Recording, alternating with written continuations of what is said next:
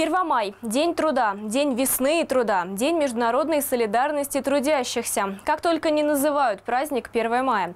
В этот день по всей стране проходят массовые народные гуляния, ярмарки, концерты и развлекательные программы. Ну а наш корреспондент расспросил у люберчан, что они знают об этом празднике. На очереди рубрика «Свободный микрофон». Первое, что приходит в голову, когда мы вспоминаем о первомайских праздниках, это знаменитый лозунг «Мир, труд, май». Однако история этого праздника началась далеко не с мира. В конце 19 века тысячи американских рабочих вышли на митинг, чтобы отстоять права трудящихся, к которым мы с вами привыкли. Это касается и 8-часового рабочего дня. А в Россию этот праздник перекочевал благодаря Ленину. И он отмечался бурными шествиями и демонстрациями и митингами. А что знают люберчане об истории этого праздника, давайте сейчас и узнаем. Всегда ходили на 1 мая с детства. Но про историю праздника я ничего не знаю, к сожалению. День труда, День солидарности трудящихся. На 1 мая обычно картошку сажают люди. Великий праздник для нашей страны.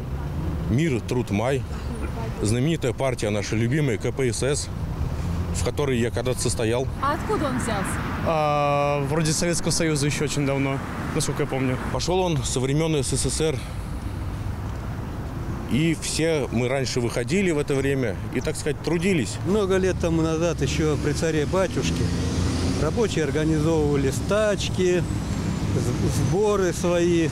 И вот на волне вот этих вот событий, которые породилось в среде трудящихся, он и родился этот праздник. Как он его праздновали, может, слышали? А, нет.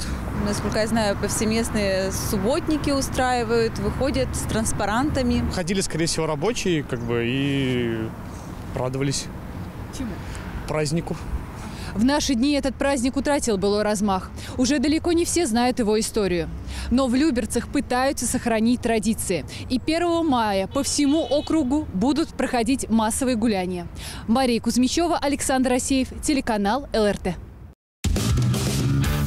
Всем привет, я Луиза, вы смотрите телеканал ЛРТ. Подписывайтесь на наш канал на Ютубе, ставьте лайки и комментируйте. И вы будете в курсе самых интересных событий.